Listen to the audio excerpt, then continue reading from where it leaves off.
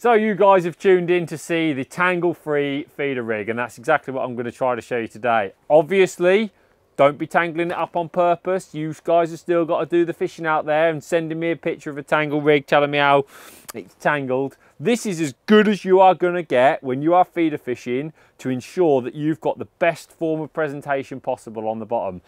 It's basically my helicopter rig and it's my twist on it. It's my way of doing it.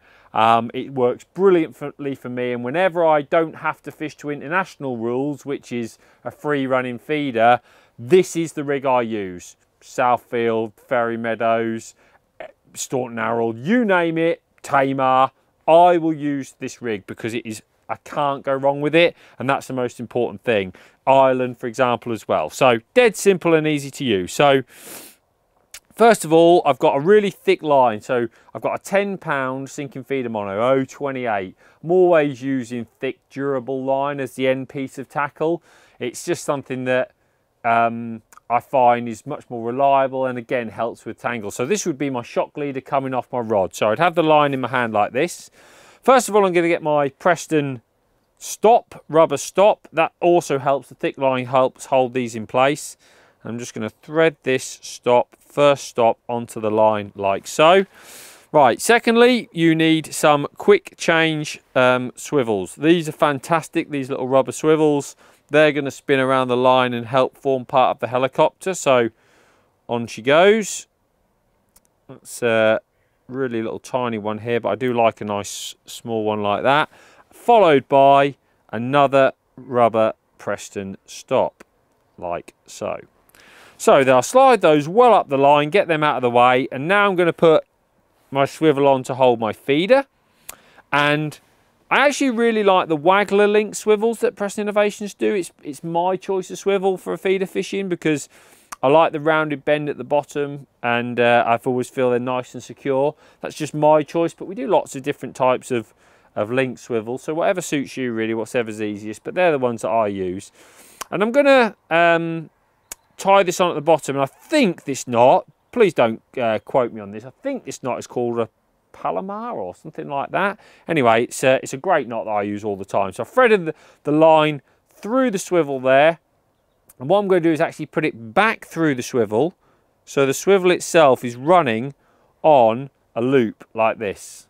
All right. And then you just forming that loop into effectively like a, a granny knot, if you like. So there you go. The swivel is hanging on the loop and then we're going to push the swivel through the end of the loop.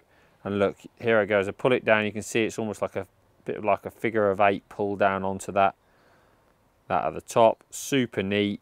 That is and it is such a strong knot such a reliable knot. And it, I pull that right down. It's better than a for me it's better than like a blood knot or a tucked blood knot and just trim it off. Now you might be wondering when a lot of people tie a helicopter rig, they like a little bit of twizzled line at the bottom.